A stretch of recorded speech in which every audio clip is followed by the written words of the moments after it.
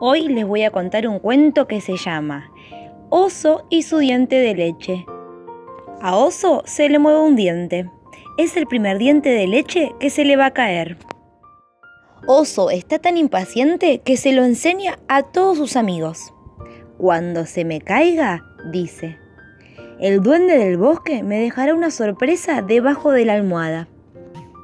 Oso empuja el diente con la lengua. Mm, el diente se mueve mucho, pero no se cae. Prueba con morder esta raíz, le dice su amigo el topo.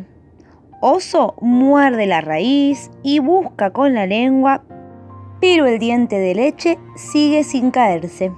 Prueba con morder esta nuez, le dice su amiga la ardilla. Oso muerde la nuez, busca con la lengua, pero el diente de leche sigue en la boca.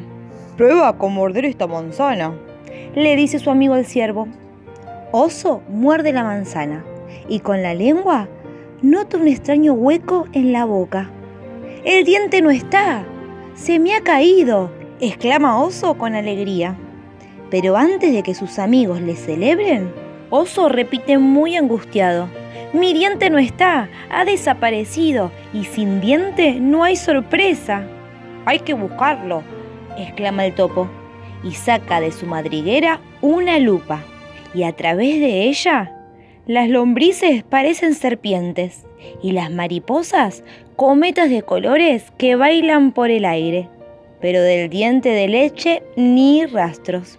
La ardilla agarra la lupa y a través de ella las avispas son dragones y los pájaros aviones que sobrevuelan por el cielo, pero del diente de leche ni rastros. El ciervo agarra la lupa y a través de ella las hormigas parecen camiones cargados con nueces, raíces, manzanas y dientes. ¿Dientes?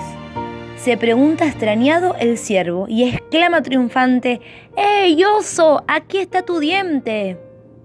Estaba clavado en la manzana. Oso coge su diente y lo coloca debajo de la almohada con una nota que dice, Este diente de leche pertenece a Oso y a sus amigos, el topo, la ardilla y el ciervo.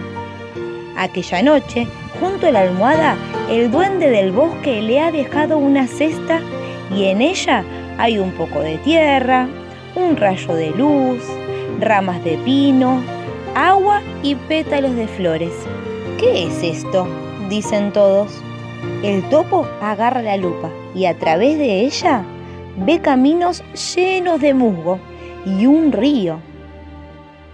A través de la lupa, la ardilla ve árboles cargados de castañas y piñones.